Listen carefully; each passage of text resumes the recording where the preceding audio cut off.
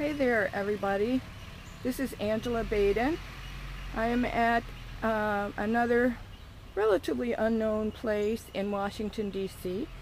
It's called Hillwood Museums and Gardens, and it is the home of an estate of uh, Mary Marjorie Merriweather Post, whose father was C.W. Post, who discovered Postum, which is a, a coffee drink, and also it, this is the family of the Post cereal.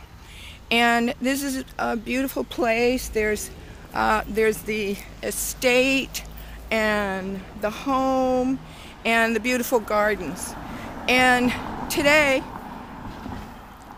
my little lesson today is about what I call a media diet.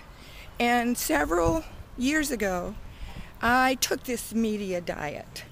And this media diet meant that for an entire month, if you can believe it, I didn't watch TV, I didn't watch um, news, I didn't watch programs, I didn't watch soaps, nothing. And what was really interesting about this was that I didn't miss anything. And so that when it was time for me to really hear what was going on in the world, I heard it. I heard those things that were really important. And what I realized is that I used to be a CNN junkie. I mean, I would watch CNN all the time, every minute I got. Then I realized that um, it could have stood for constant negative news. So I, when I went on my media blitz, a media diet, I realized that um, I didn't need that. And you know, like I said, you always get the news that you need to get and the information that you need. And what's funny is that's still, I still go through that now.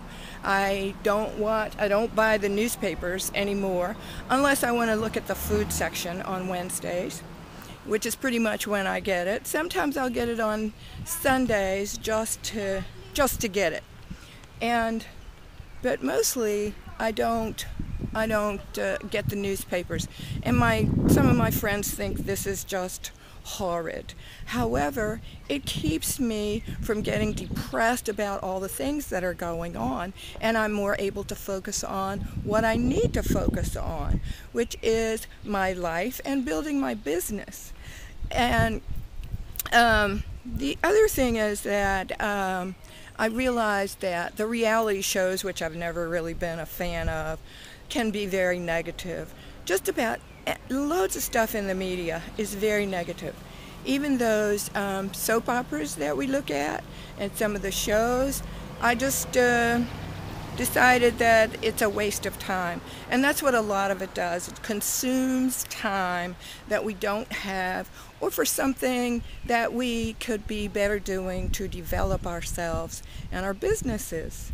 So that is pretty much my lesson for today to limit your your media and what it is you're taking into your life because it does get absorbed into your life. It is uh, and it can it can really harm you. You know i noticed even when i look at the weather channel because i like to check the weather before i'm going out or if i'm going on a trip to see what the weather is then I noticed that even the Weather Channel focuses a lot on the negative stuff, the tornadoes, what lives are lost, what destruction has been done. And that just takes my time and other people's times because then you are, you know, you're all wrapped up in in something that you can't do anything with.